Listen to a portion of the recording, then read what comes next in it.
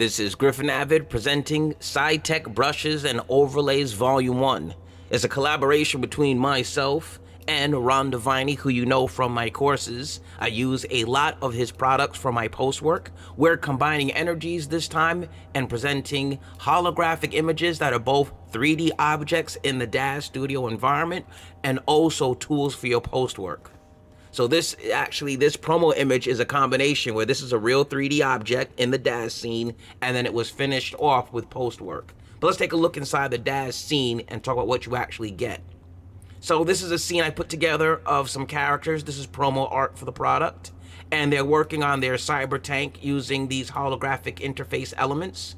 And if you look at them, they come in multiple layers. So you will get several layers of planes which create the holographic effect. If you can see if I tilt it. These are actual 3D planes that he's inside of and interacting with. And she also has a set of her own if you see us move through them. So we get 3D, 2D planes. And that becomes the basis for the hologram.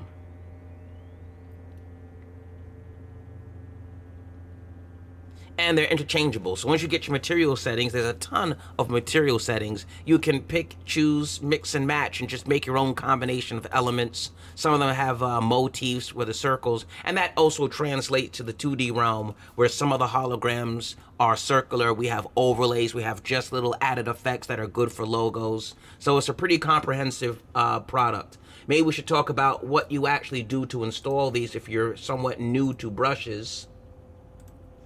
Uh, when you download the zip file from the DAZ store, you're to have two sets of files. A SciTech overlay brushes, which is a bundle of actual brushes that go inside your Photoshop. And these are styles. These are layers or effects that when activated on the brush itself in Photoshop, it can add a glow, it can uh, change the colors. It'll just add an extra burst of energy or specialness to some of the special uh, effect shots let's take a look at then a promo piece and see how we put this together. Let's do that. So this is me inside Photoshop. If I select my brushes palette and open this up, it opens up my selection of brushes. This would be the SciTech brushes that I'm going to pick, and you're gonna see the brushes here. And I click on the brush, and I can apply it to my scene. Let's pick a color maybe pick like a reddish color. And now I've got a red brush on my scene, if that makes any sense. Let's talk about a layer and some of these styles. So let's make a layer for this particular brush. We'll call this brush red overlay A. And let's say I brought, let's pick a different one. I brought the brush, I'm gonna resize it a bit somewhere. Let's just put the brush here. And I'll give it a little bit, of, a few clicks to darken it. So I've got my brush on a separate layer. Now if I go to my styles menu, I want to go to a layer. I'm going to pick a style. Let's say we're going to go with, do I already have his styles up? Oh, good, I don't. So we can load his styles, which would be ours, the SciTech Glow styles. And now we have all the styles that this product comes with. And when I apply a style, it will impact the brush. So again, this is a style preset that will impact the brush. It's really the layer, but the brush is on a layer if you understand that little connection between in the layers menu, I made a new layer of just the new brush effect. I could have painted it like I did the first time right onto my scene, which uh, some some people do, but you can actually make a separate layer for your brush to be applied on, and then once there, I can impact just that brush.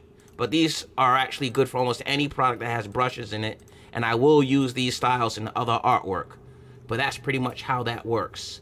If you're completely new to Photoshop, maybe we should discuss some of these folders and locations. I made mine a desktop shortcut so that it's easier to find. But in your Adobe program, there'll be, wherever you've installed your Adobe to, there'll be a set of folders called uh, your main your main Photoshop brush, and inside the presets folder, you'll have a bunch of presets. Here is where I would drag and drop my styles to. Let's take a look at the comparison. My brushes would go dragged and drop into my brushes folder, and the styles will be dragged and dropped into my styles. And then once I close and open Photoshop again, I would have this in the styles menu. So if you didn't see how I pull that up, let's do that again.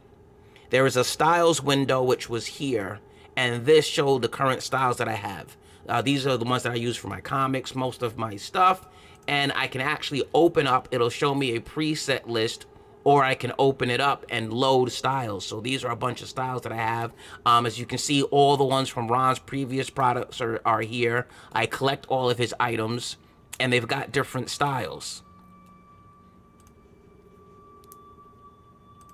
That's to remove the style and get it back to what it was at default. So again, you could either do it on a separate layer or sometimes we actually paint onto it for special effects. We'll paint onto the layer itself. And this would be impacting the image. As you know I when you've seen me do my work in classes I usually duplicate all of these layers so that I'm never actually uh, creating my art or my special effects on the original.